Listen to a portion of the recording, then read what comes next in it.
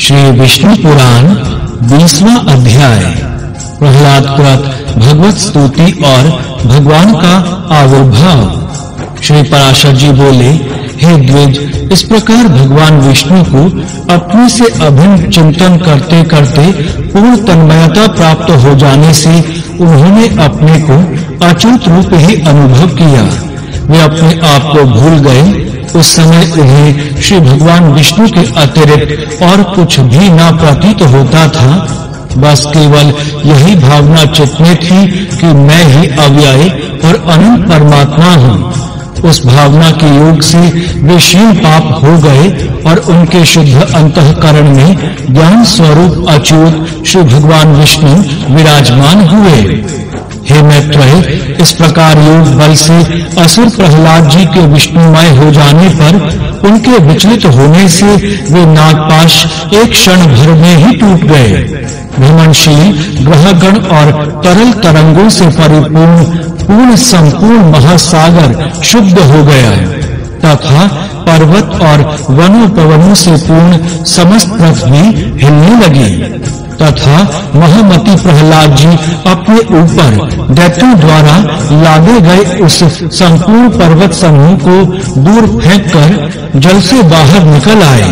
तब आकाश आदि रूप जगत को फिर देखकर उन्हें चित्त में यह पुनः भान हुआ कि मैं प्रहलाद हूँ। और उन महाबुद्धिमान ने मन, वाणी और शरीर के संयम पूर्वक धैर्य धारण कर एकाग्र चित्त से पुनः भगवान अनादि पुरुषोत्तम की स्तुति की।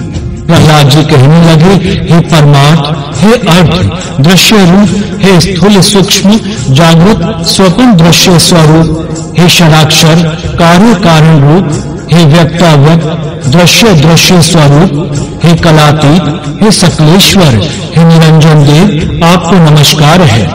हे गुणों को अनुरंजित करने वाले, हे गुणाधार, हे निर्गुणात्मन, हे गुण स्थित हे मूर्त और अमूर्त महामूर्तिमान, हे सूक्ष्म मूर्ति, हे प्रकाश प्रकाश स्वरूप, आपको नमस्कार है। हे विकराल और सुंदर रूप, हे विद्या और अविद्यामय अच्युत हे सद सत कार्य कारण रूप जगत के उद्भव स्थान और सद जगत के पालक आपको नमस्कार है। हे नित्यानित्य, आकाश घटादि रूप प्रपंचात्मन, हे प्रपंच से पृथक रहने वाले, हे ज्ञानियों के आश्रय रूप, हे एकानेक रूप आदि कारण वासुदेव, आपको नमस्कार है। जो स्थूल सूक्ष्म रूप और स्फुट प्रकाशमय है, जो अधिष्ठान रूप से सर्वभूत स्वरूप तथापि वस्तुतः संपूर्ण भूतादि से परे है। विश्व के कारण न होने पर भी जिनसे यह समस्त विश्व उत्पन्न हुआ है, उन पुरुषोत्तम भगवान को नमस्कार है। श्री पराशर जी बोले, उनके इस प्रकार तन्मयता पूर्वक स्तुति करने पर पीताम्बरधारी देवादि देव भगवान हरि प्रकट हो गए।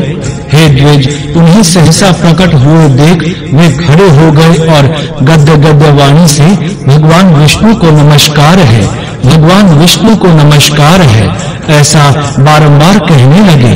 प्रहलाद जी बोले, हे शरणागत दुख हारी श्री केशव देव प्रसन्न होइए। हे अच्युत अपने पुण्य दर्शनों से मुझे फिर भी पवित्र कीजिए। श्री भगवान बोले, हे प्रहलाद, मैं तेरी अनन्य भक्ति से अति प्रसन्न हूँ। तुझे जिस वर की इच्छा हो मांग ले। प्रहलाद जी बोले, हे नाथ, सहस्त्रों योगियों से मैं जिस जिसमें भी जाऊँ, उसी उसी में हे अच्युत, आपको मेरी सर्वदा अक्षुण भक्ति रहे। अविवेकी पुरुषों की विषयों में जैसी अविचल प्रीति होती है वैसी ही आपका स्मरण करते हुए मेरे हृदय से कभी दूर ना हो। श्री भगवान बोले, हे प्रहलाद मुझमें तो तेरी भक्ति है ही, और आगे भी ऐसी ही रहेगी। किंतु इसके अतिरिक्त भी तुझे और जिस वर की इच्छा हो, मुझसे मांग ले। प्रहलाद जी बोले, हे देव, आपकी स्तुति में प्रवृत्त होने से मेरे पिता के चित्त में मेरे प्रति जो द्वेष हुआ है, उन्हें उससे जो पाप लगा है, वह नष्ट हो जाए।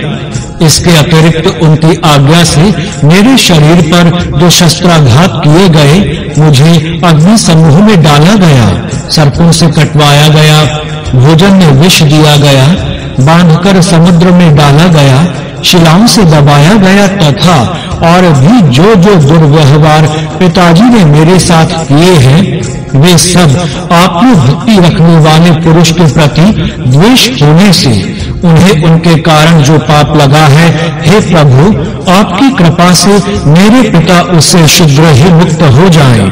श्री भगवान बोले, हे प्रहलाद, मेरी कृपा से तुम्हारी ये सब इच्छाएँ पूर्ण होंगी। हे असुर कुमार, मैं तुमको एक वर और भी देता हूँ। तुम्हें जो इच्छा हो मांग लो। प्रहलाद जी बोले, हे भगवान, मैं तो आपके इस वर से ही कृतकृत्य हो गया कि आपकी कृपा से आपने मेरी निरंतर अविचल भक्ति रहेगी। हे प्रभु, संपूर्ण जगत के कारण रूप आपकी जिसके निश्चल भक्ति है, मुक्ति भी उसकी मुट्ठी में रहती है। फिर धर्म अर्थ काम से तो उसे लेना ही क्या है? श्री भगवान बोले, हे प्रहलाद, मेरी भक्ति से युक्त तेरा चित्त जैसा निश्चल है, उसके कारण तू मेरी कृपा से परम निर्वाण पद प्राप्त करेगा। श्री पराशर जी बोले, हे मैत्रेय, ऐसा कहे भगवान, उनके देखते देखते अंतर्ध्यान हो गए और उन्होंने भी फिर आकर अपने पिता के चरणों की वंदना की। हे द्विज तब पिता हिरण्य कशिपु ने जिसे नाना प्रकार से पीड़ित किया था, उस पुत्र का सिर सूंघ कर आँखों में आँसू भरकर कहा, पुत्र, जीता तो है। वह महान असुर अपने किए पर पछताकर फिर प्रहलाद से प्रेम करने लगा और इस प्रकार धर्मज्ञ प्रहलाद जी भी अपने गुरु और माता पिता की सेवा शुश्रूषा करने लगे। मैत्रेय तदंतर महसिंह रूपधारी भगवान विष्णु द्वारा पिता के मारे जाने पर वे दैत्यों के राजा हुए। हे द्विज, फिर प्रारब्ध क्षयकारिणी राज्य लक्ष्मी, बहुत से पुत्र पत्र आदि तथा परम ऐश्वर्य पाकर कर्माधिकार के शील होने पर पुण्य पाप से रहित होकर भगवान का ध्यान करते हुए उन्होंने परम निर्वाण पद प्राप्त किया। हे। मैत्रेय जिनके विषय में तुमने पूछा था, वे परम भगवत भक्त महामती दैत्य प्रवर प्रहलाद जी। ऐसे प्रभावशाली हुए, उन महाराजा प्रहलाद जी के इस चरित्र को जो पुरुष सुनता है, उसके पाप शीघ्र ही नष्ट हो जाते हैं। हे मैत्रेय, इसमें संदेह नहीं है कि मनुष्य प्रहलाद चरित्र के सुनने या पढ़ने से दिन रात के निरंतर किए हुए पापों से अवश्य छूट जाता है। हे द्विज पूर्णिमा अमावस्या अष्टमी अथवा द्वादशी को इसे पढ़ने से मनुष्य को गोदान का फल मिलता है। जिस प्रकार भगवान ने प्रहलाद जी की संपूर्ण आपत्तियों से रक्षा की थी, उसी प्रकार वे सर्वदा उसकी भी रक्षा करते हैं, जो उनका चरित्र सुनता है। इस प्रकार श्री विष्णु पुराण के पहले अंश में 20वां अध्याय संपूर्ण हुआ। जय श्री हरि।